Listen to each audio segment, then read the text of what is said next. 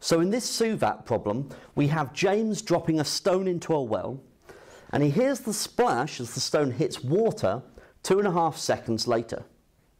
Determine the speed at which the stone hits the water and find the depth of the well. What modelling assumptions have you used? Okay, so let's draw a diagram just so we can visualise what's going on here. Okay, so we have this well and there's water at the bottom. Okay, and we are dropping the stone down into the well. So if we think about those modelling assumptions that we're using here, I would just be starting to assume, well, assuming just to solve the problem, that I am dropping the stone. Um, I'm not throwing the stone down, so I'm just holding it over the top of the well and dropping it. Okay.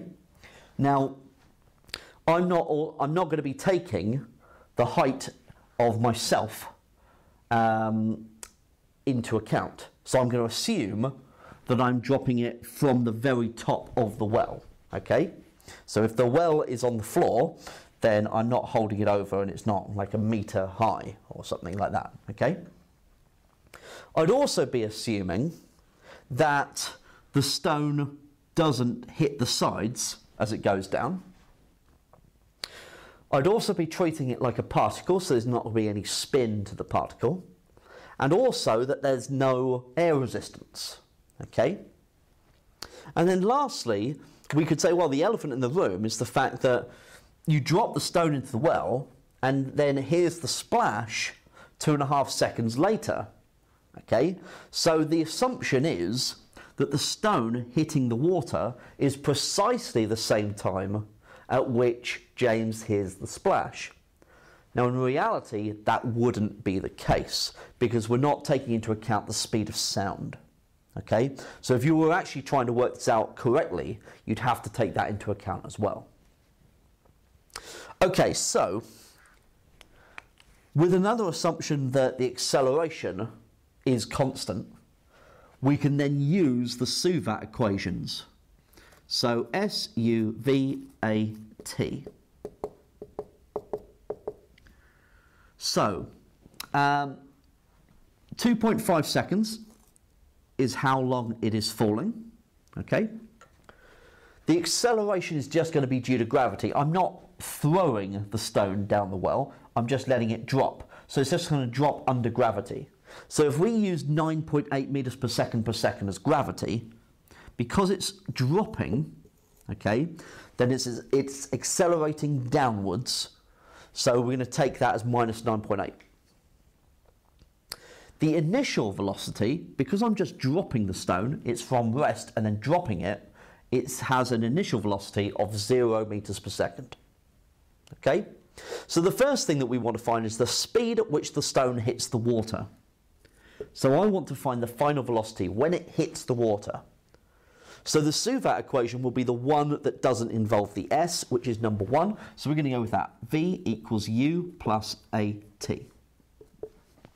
So U is 0, A is minus 9.8, and T is 2.5. Okay, so we have minus 9.8 times 2.5, which is minus 24.5. Okay, so the speed, because that's taking the direction into account, is hitting the water going that way, vertically downwards at 24.5 meters per second the speed is equal to 24.5 or 25 meters per second to two significant figures. Because we're using gravity at two significant figures, our result must be to two significant figures as well. Then, the depth of the well. So if this was an exam question, okay, and this was part B to the exam question, then you don't know whether you've got part A right. So you've got to be careful. If you can avoid using a previous result, sometimes that can be a good thing, okay, because we don't know whether we've got that bit right. So if I ignore having that result, I can still work out S with the other three remaining pieces. So I can go for the equation that doesn't have uh, V, which is number 3. So S is equal to ut plus 1 half at squared. So that's equal to 0 times t, so 0 times 2.5, plus 1 half times minus 9.8 times t squared. Okay, so we've got minus 0.5 times 9.8 times 2.5 squared, which is minus 30.625. Okay, now this is in meters and it's in, eh, that is the displacement okay, of the stone. So the depth of the well is actually equal to 31 meters to the two significant figures. Okay? And so that is how we can solve this problem.